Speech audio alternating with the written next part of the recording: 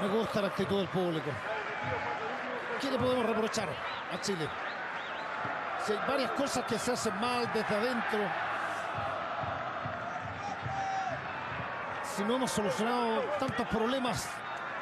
El único bálsamo que hemos tenido en, esta, en estos últimos 10, 15 años ha sido este puñado de jugadores en las dos Copas Américas, del bonito torneo en Rusia,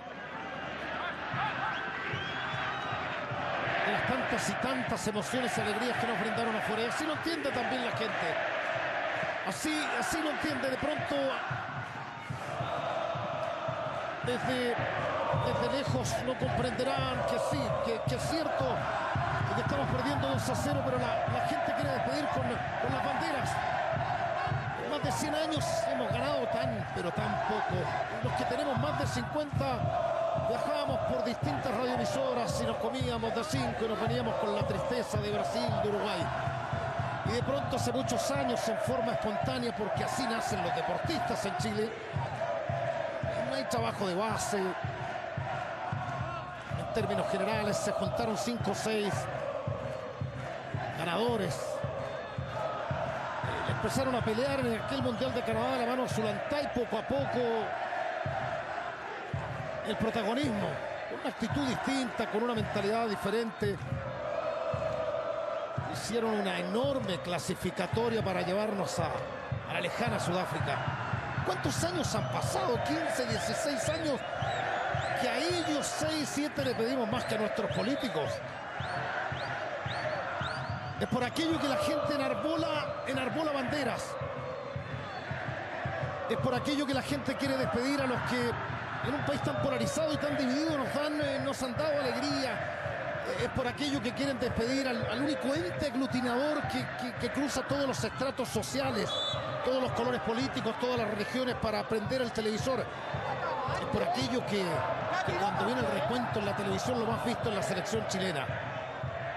Es por aquello que se enarbolan y, y viene emoción y la gente, la gente está triste como todos nosotros. Pero también estamos con un dejo de, gratitud después de tantos años a los que nos criamos con, con esa mentalidad un poco perdedora de, de lo que vivimos como hinchas. En Brasil, en Rusia, en Estados Unidos con esa final soñada. Y si es verdad, hoy 29 de marzo de pronto se va a cerrar un capítulo. Ya estamos con las carnes eh, vivas, es verdad, no iremos al Mundial. Y duele, y duele para los que amamos el fútbol. Pero no nos olvidaremos porque ustedes son la extensión de nuestra raza, porque ustedes vencieron en infancia rebelde, ustedes le ganaron a sus sombras, ustedes gambetearon con la, con la cunita permanentemente, vinieron del norte y del sur y vivieron en pensiones y se pusieron la roja desde los 15 años y dijeron queremos cambiar y queremos ganar algo. Y en este sur que milagrosamente existe, nos regalaron dos copas maravillosas. Nos regalaron un torneo que solo lo conocíamos a nivel referencial como la Copa Confederaciones allá en, la lejana Rusia. Nos hicieron soñar un día en Maracaná ganando la España con 70 mil gargantas coreando el himno. Lloramos con ustedes cuando Pinilla estremeció el palo. Y si es verdad, como decía el gran calentaro, estaré más malo para que lloro con leña seca. ¿Qué importa Qatar? Eh, me encanta la actitud de las 10.000 personas enarbolando banderas para decirles gracias.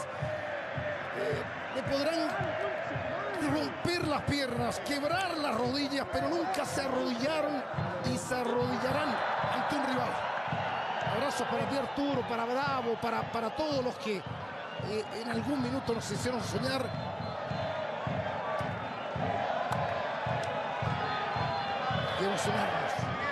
Gracias.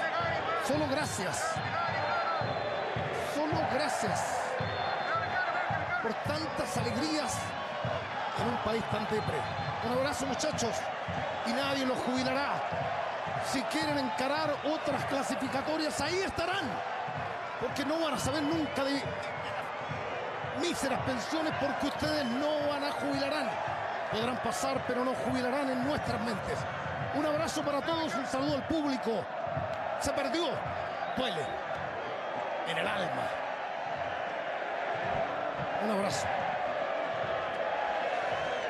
Ya se fue Alexis eh, rumbo al vestuario. Hay lágrimas en los ojos de Montesinos, de Vidal, de Mauricio Isla. Ustedes lo vieron. De Gary Medel. Se cierra un ciclo, se cierra ya definitivamente el periodo de estas clasificatorias.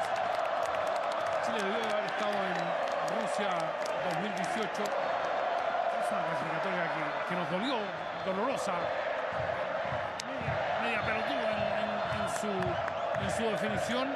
Y aquí, pese a que tratamos de meternos vanamente en la pelea, todo, todo partió torcido desde el arranque.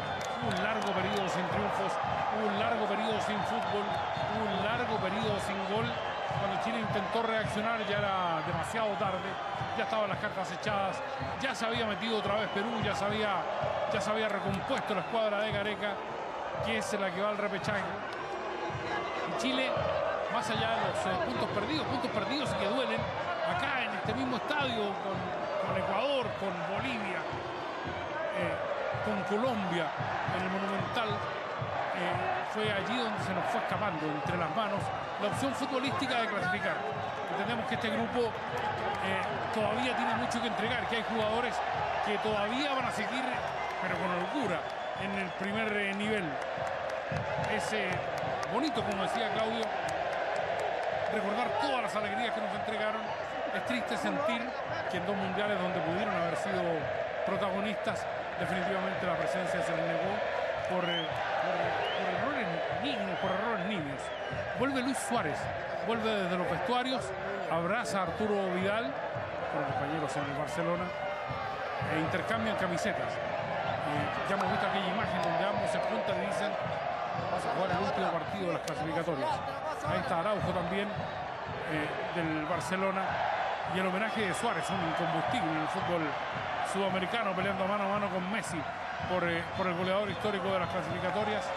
La selección se va por última vez en este proceso rumbo a los vestuarios. Es una derrota lapidaria, es un 2 a 0.